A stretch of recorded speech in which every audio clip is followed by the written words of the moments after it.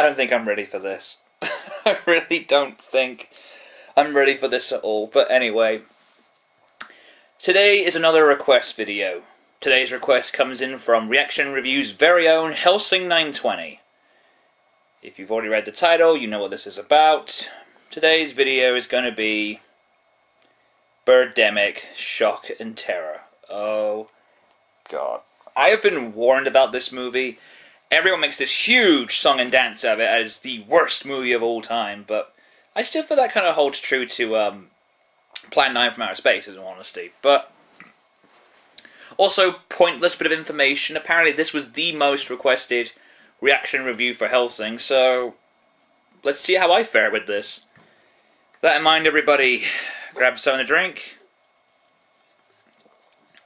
It's time to kick back, don't relax, based off what I've been hearing, and let's watch Bert Birdemic Shock and Terror. Oh, so far it's not bad. I mean, it's just like a basic drive video. I mean, the guy can't hold the camera properly, but it's not bad so far. This morning, flocks of seagulls and crows were found dead in downtown San Jose and along Highway 101. And not a The single fuck was given. Also caused an Okay, we've just about hit the 10 minute mark, so I have to ask this question. When does something happen? I know Helsing's already commented about that nothing really happens and whatnot, but I'm looking at this, and uh, shouldn't, like, the proper title be Boring Guys, Boring Life? I want to just point this out like a little congratulations. technical doodad here. I think you look great. Like when they're talking on the phone, I get how they're doing a cutaway Thanks. to how the other person's talking. You don't want to leave like in this gap. No, like for example, one guy says, what you say? "How you doing?" Oh, that was fast. I know. Oh, yeah, I'm fine. That's good. You don't want to leave that long gap in there. You mean if you could just edit those gaps out, it'd be a more convincing conversation.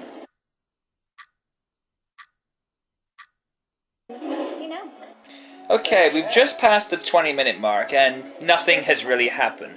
But I'm going to say this so far. One positive for the movie so far. Yeah, I know, positive about Birdemic is a bit ridiculous. But you know what? This romance between Natalie and I've already forgotten his name.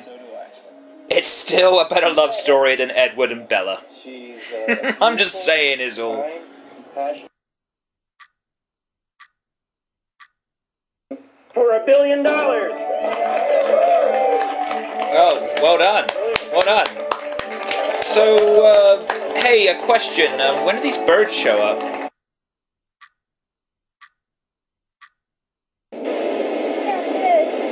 No, all life. Sorry, what? I mean, What? I'm in a wild- Sorry, I, I can't hear you. Wind, can't hear you. What? Your ideal man. What?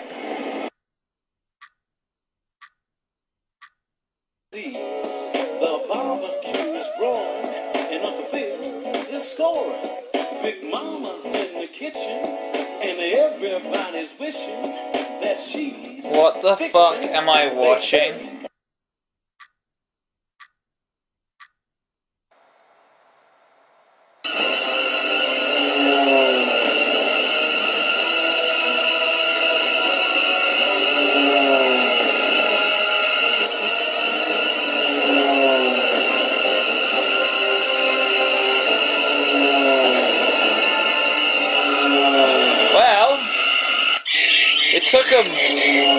47 minutes to show up. So the birds just, like, crash into things and explode. Must be Japanese birds.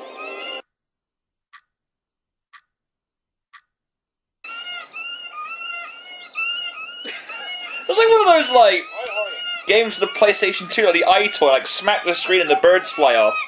Seriously, someone want, I want you to turn this into one of those like gun games or an EyeToy game. You just smack the screen and the birds fly off. Hey, hey, Betty at Nintendo, if you're listening, here's a great idea for the Wii U. Make a Birdemic game where you have to shake the Wiimote to knock the fucking birds off the screen. It'd be fantastic. Oh, I'm kidding? A terrible idea. Because of his fossil fuel related activities, he's causing global warming it's killing life and Earth itself. Right. So, let me make sure I've got this straight. We start our movie off with like a little sappy romance, which I actually thought was okay. Then we suddenly get these kamikaze birds that blow up and things and just kill people by mindly grazing their faces. And now this old fool is saying, "Oh, humans are the monsters because of global warming." Ah! Really? I mean, really? That's the way we uh, wash over our problems. People are dead, so candy! Yay! Hooray! Yay! Kids are so easy manipulated. Damn global warming. It's the cause of dry climate and bark beetles and death of the trees and forests. Okay, so we're taking another moment to have another environmental message and shit. Greedy lumber companies. Hey, um, hippie guy, um. Birds are killing people, and you're more concerned with, against global warming. oh, trees are dying out. Fuck name? you, I'm asshole. Tom Hill. Try the seaweed, it'll be really good. No, I want a Happy Meal. In the apocalypse, there is no happy meals, only pain. Oh, speaking of which.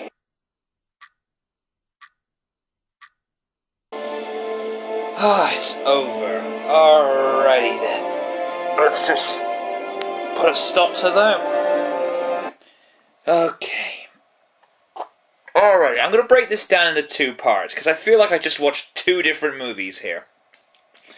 We're going to start with what I'm going to refer to as uh, Rod and Natalie's sappy romance. That's going to be like the first 40 minutes, and then Birdemic's going to be part two of this. You know, everything past that mark. Alrighty.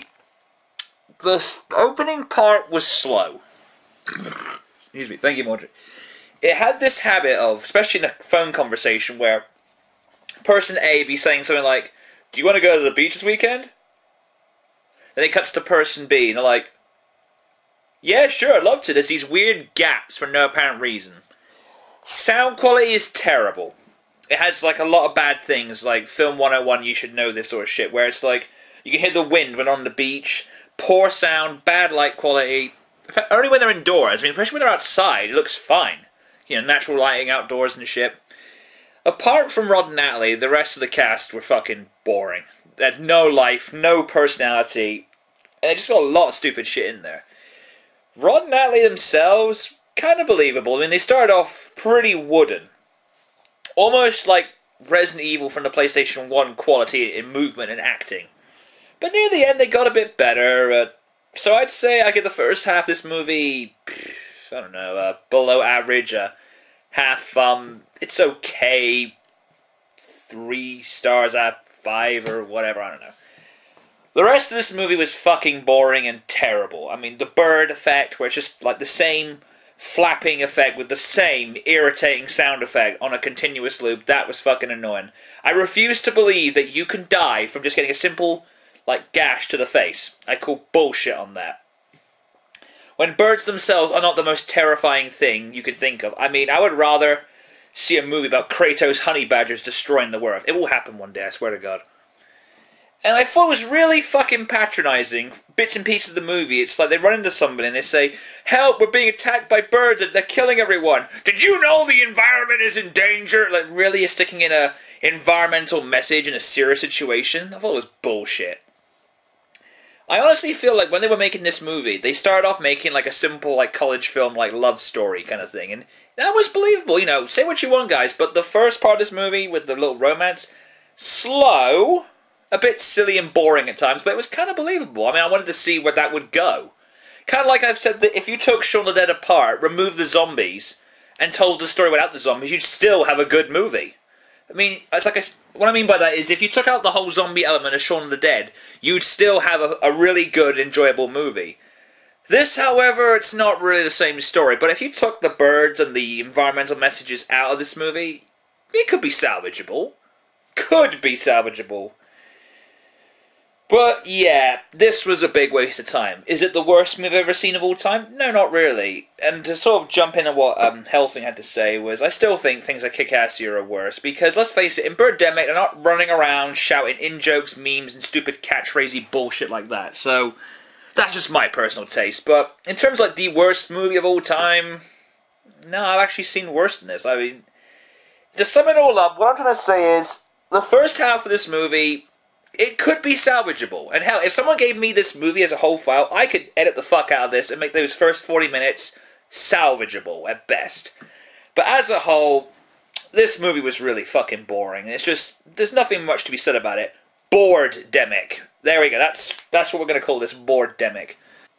I also get the sense with this movie they're trying to like scare people into you know protecting the environment and everything by having if you don't recycle and if you don't watch carbon emissions, birds will get you. Woo! Oh please, I can think of a better environmental message. Protect the environment, or I'll kill you, Captain Bloody! There's a better environmental message if you ask me. This came in a request from Helsing920, um, linked to his channel below, but we come to the end of another reaction and review, ladies and gentlemen. I have been Random, take care, and I'll see you all in the near future. Peace. I want a Happy Meal.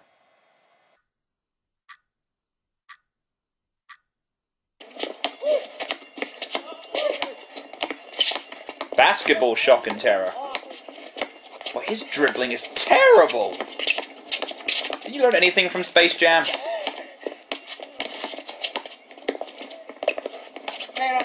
See, white men can't jump.